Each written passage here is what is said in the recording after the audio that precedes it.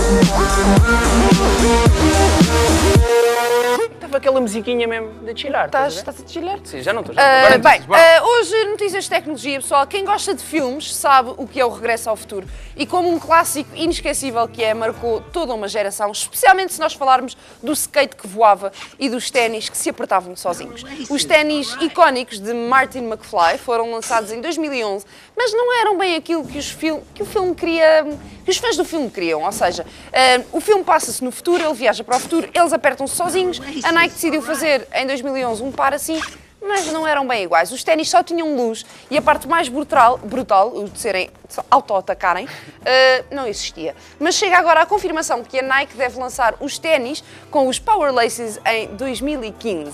No filme em que nós viajamos para o futuro, os, os ténis são lançados em 2015, que parece um futuro super longínquo, já que o filme se passa em 85.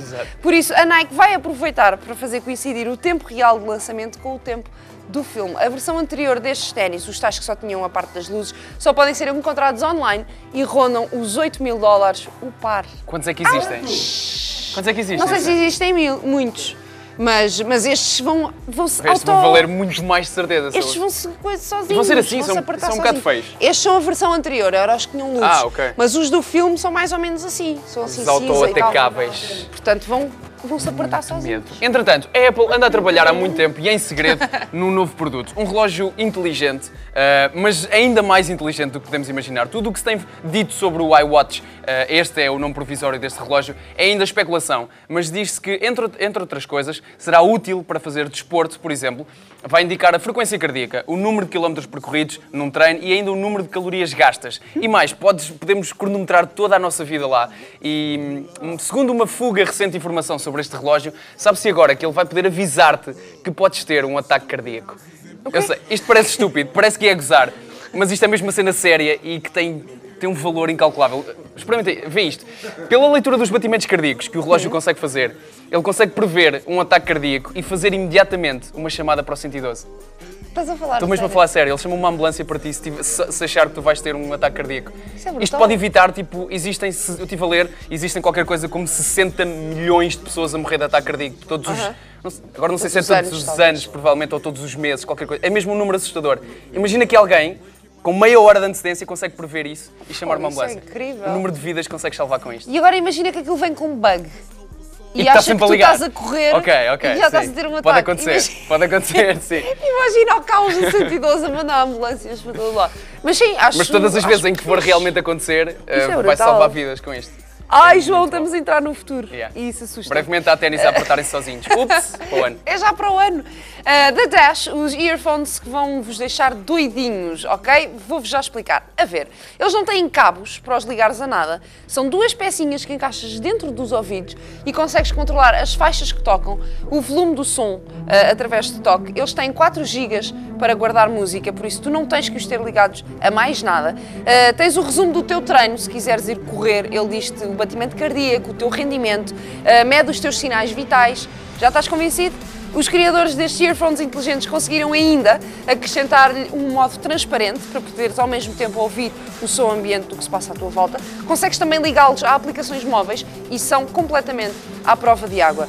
Este projeto está numa plataforma de crowdfunding há uns dias e já angariou mais de 1 milhão e 800 mil dólares. Ah, e tudo o que eles queriam era 260 mil dólares para, para conseguir fazer o protótipo.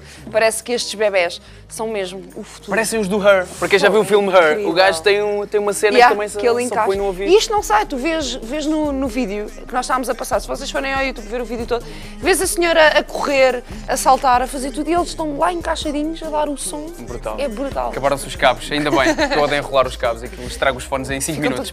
Entretanto, Flappy Bird, o jogo mais falado dos últimos tempos, provavelmente. Ah, sabem do que eu estou a falar, certo? Aquele jogo que virou um sucesso e depois foi apagado pelo próprio criador, que estava farto de ganhar 50 mil dólares por, Por dia. Yeah. Que Chatice. Ah, já anda meio mundo a vender os telemóveis por milhares de euros no eBay e afins, todos os telemóveis que ainda têm a aplicação que o criador decidiu apagar e a outra metade do mundo está a tentar sacar o jogo ou um parecido. Sim, um parecido.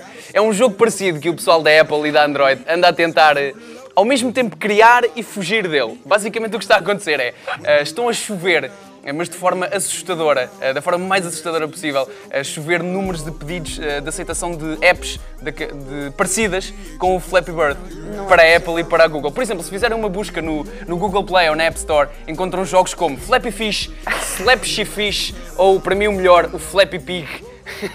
que é basicamente o Flappy Bird, mas com outros animais. Oh, Eh, entretanto, começaram a chover, como eu estava a dizer, jogos novos na Apple, até Uhum. que a empresa foi obrigada a rejeitar devido ao número de queixas dos consumidores desses jogos. Um, porque tu pões sério? Flappy e aparecem tipo um milhão de opções uh, praticamente iguais, mas com animais diferentes. Que basicamente são o Flappy Bird com outros animais. O Flappy Dragon, o Flappy Bee. E eu tinha até uma sugestão, e para mim eu acho que este, este aqui ia render. Era o quê? Que era o, Fla- o Invisible Flappy, Ah. que não tinha nenhum animal. Eram só tubos. Uh, sim, só tinha os tubos, só, só o decor, do, só o cenário do jogo, mas não Sim. acontecia nada.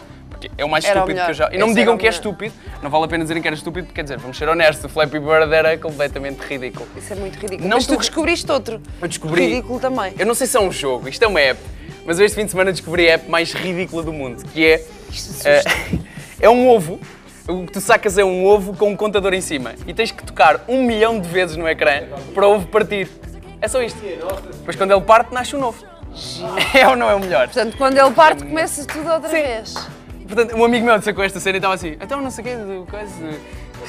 Estava sempre assim, o Pá, sempre assim. que já- nunca mais já ninguém me um. diga, que nunca mais ninguém me diga que o facto de eu jogar Candy Crush é tipo ridículo e terrível. Há pessoas, há pessoas que fazem isto assim o dia todo para, para, para partir um ovo. Mas nem estão a olhar, nem estão a olhar. Então sim, estás a ver? Como é que é possível, meu?